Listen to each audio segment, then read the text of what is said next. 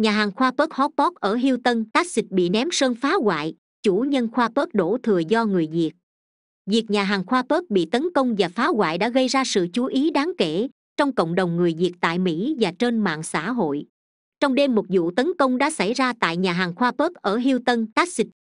Theo thông tin được đưa ra, nhà hàng này đã bị tạc sơn và phá hoại tài sản, gây thiệt hại nghiêm trọng cho hoạt động kinh doanh và gây hoang mang trong cộng đồng người Việt tại Mỹ.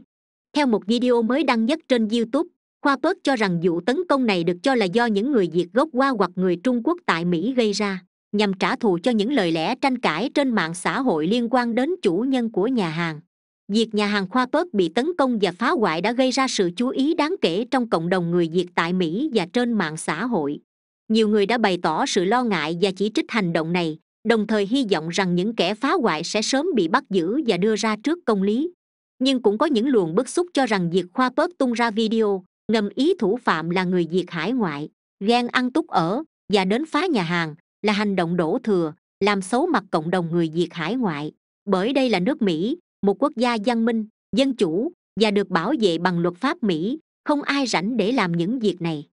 Và có nhiều ý kiến cho rằng đây là một trò PR quảng cáo bẩn.